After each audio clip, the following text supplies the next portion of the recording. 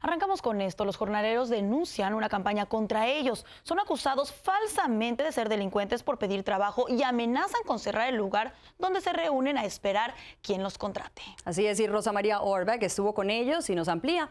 Buenas tardes, Rosa María. Adelante.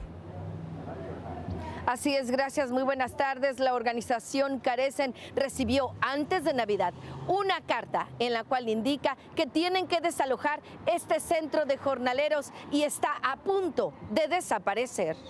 Nos da tristeza porque es parte de nuestra vida el centro, porque si se lo quitan, lo vamos a quedar indefensos, pues. Como un balde de agua fría recibieron la noticia cientos de jornaleros del centro de Los Ángeles, ya que su centro, apoyado por Carecen para conseguir trabajo, tiene los días contados. Persona que viene aquí, gente humilde, gente trabajadora, gente que a diario está luchando por mantener ese pan diario de cada día. Los jornaleros llevan más de 15 años en este lugar. Aquí los patrones buscan mano de obra y la encuentran respetando sus derechos laborales.